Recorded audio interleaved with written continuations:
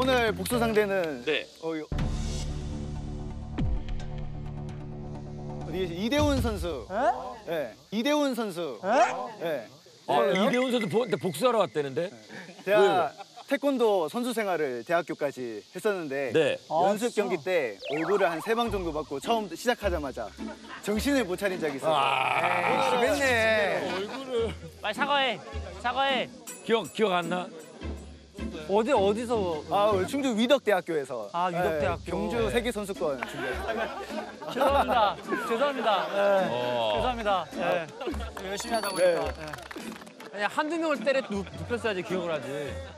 자, 그리고 아, 곧 군 입대를 앞두고 있는 분이 있습니다. 누굽니까? 네, 저입니다. 아, 본인 소개. 네, 안녕하세요. 저스트 FC 막내 임기범입니다. 아, 막내예요.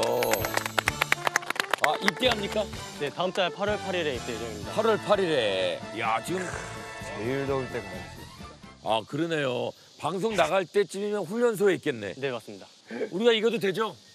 어, 아유, 그럴 일 없을 것 같습니다. 아, 그럴 리 없다. 자신감이 넘쳐.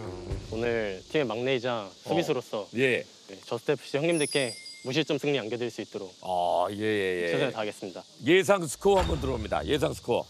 네, 저희도 오늘 경기를 위해서 많이 연습하고 어. 예, 준비를 했습니다. 2대 1 예상해 보겠습니다. 2대 1. 네, 승리로. 승리로. 네. 예, 2대 1 정도 예상하고 있습니다.